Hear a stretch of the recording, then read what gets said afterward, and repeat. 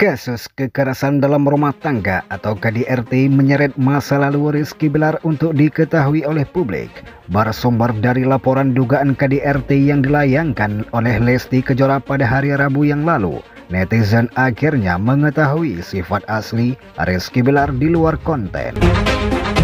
Tidak hanya itu, netizen pun digegerkan dengan penjelasan Satria Mulia yang berkaitan dengan masa lalu Rizky Bilar ketika dirinya masih meniti karir di FTV.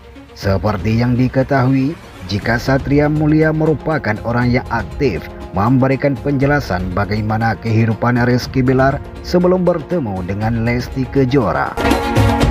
Dari beberapa keterangan yang diberikan Satria Mulia, Rizky Bilar kerap memiliki utang yang menumpuk.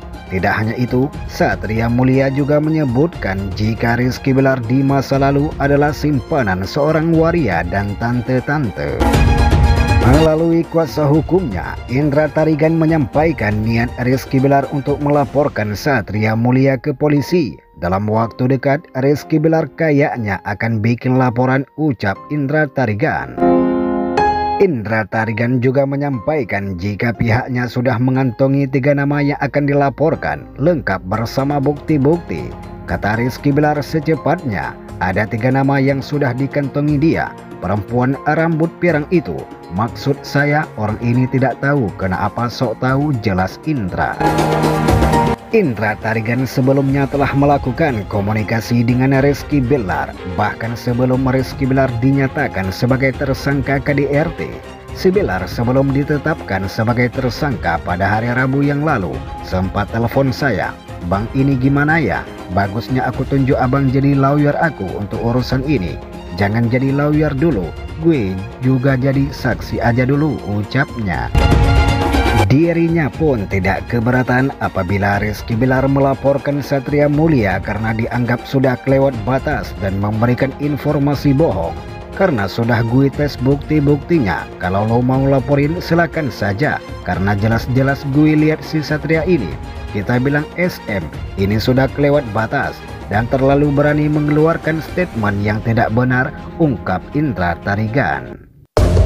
Satria Mulia juga sempat menyinggung pertengkaran Rizky Bilar di kafe Kalibata pada tahun 2016.